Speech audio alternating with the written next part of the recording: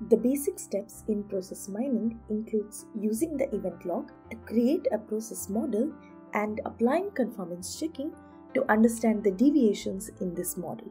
The conformance checking provides a unique insight into model behavior and how it differs from the behavior recorded in the IT systems. However, there are many other improvements and analysis that can be done on such a process model.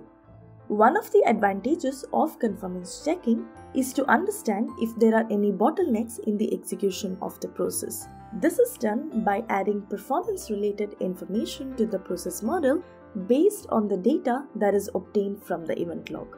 Such a model can be enhanced using the performance information, which in our case is the average time taken to execute an activity in the process.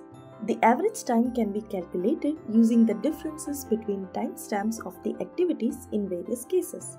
Once the model is enhanced with the time information, it is easy to see which activities are delayed the most and thus can understand where the bottlenecks lie in the system.